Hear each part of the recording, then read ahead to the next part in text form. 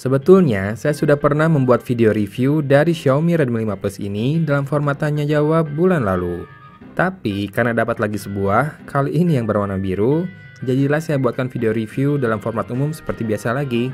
Yang pasti, warna birunya menawan sekali. Saya akan biarkan Anda menikmati sisi persisinya sembari saya menjelaskan beberapa hal soal kondisi real dari ponsel ini di pasar Indonesia.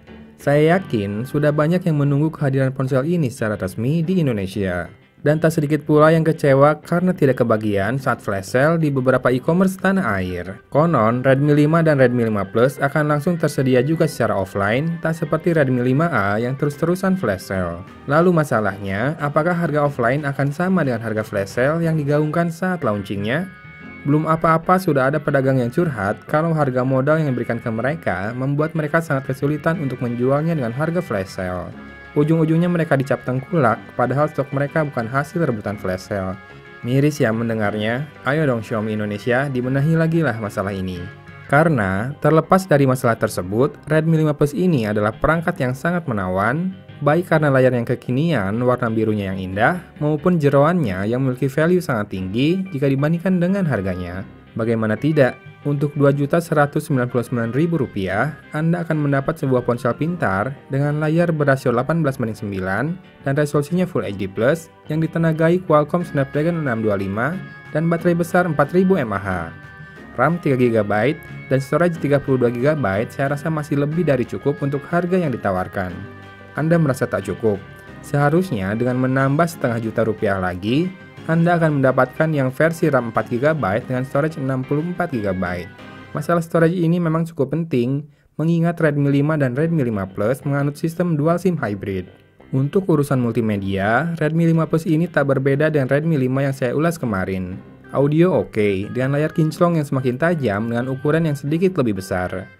Aplikasi dapat dipaksa untuk berjalan pada rasio 18:9 dari menu setting. Kurang praktis memang, tapi paling nggak ada lah fiturnya. Sementara fitur kekinian yang belum ada pada Redmi 5 Plus adalah Face Unlock. Jadi Anda harus memaksimalkan fingerprint scannernya yang menurut saya sih akurat dan juga responsif. Untuk urusan performa, saya rasa Snapdragon 625 masih berjaya dan dapat diandalkan untuk tahun 2018 ini. Dengan kapasitas baterai yang lebih besar dari Redmi 5, Redmi 5 Plus ini mampu bertahan hingga 2 hari 2 malam dalam penggunaan saya. Diajak bermain game kesukaan masih kuat dan juga tak mudah panas. Oke lah pokoknya performanya. Urusan kamera sudah pernah saya jelaskan di video review dalam format tanya jawab. Silahkan disimak di sana saja ya. Karena Redmi 5 Plus yang masuk resmi ke Indonesia ini ternyata sama-sama menggunakan sensor kamera buatan Omnivision.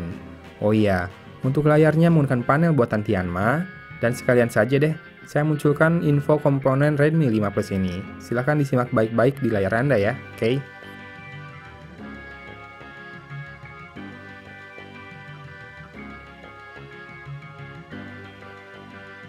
Selain kameranya yang tidak istimewa, walaupun sebetulnya masih sangat wajar untuk harga yang diberikan, saya sungguh kesulitan mencari kekurangan dari ponsel ini. Satu-satunya alasan saya tak menjadikannya daily driver adalah karena saya kurang cocok dengan karakter MIUI yang perlu banyak setting sana-sini agar notifikasi dapat masuk secara real time. Doa saya, semoga stok Redmi 5 Plus ini segera melimpah dengan harga yang sama dengan apa yang diinfokan pada acara launchingnya ya. Biar apa? Biar jadi ponsel sejuta umat selanjutnya. Dan biar yang lain juga pada memacu diri untuk membuat ponsel dengan harga terjangkau namun memiliki value tinggi seperti ini.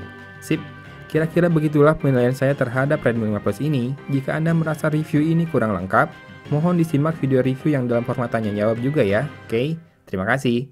Dari kota Cimahi, Agun pamit undur diri. Wassalamualaikum warahmatullahi wabarakatuh.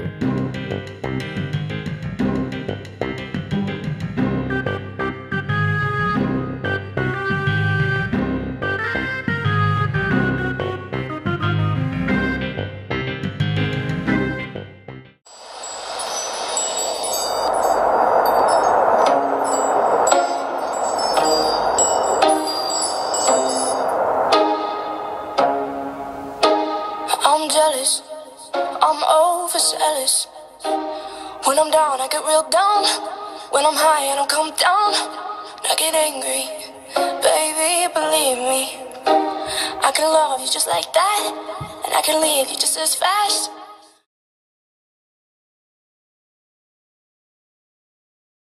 But you don't judge me. Cause if you did, baby,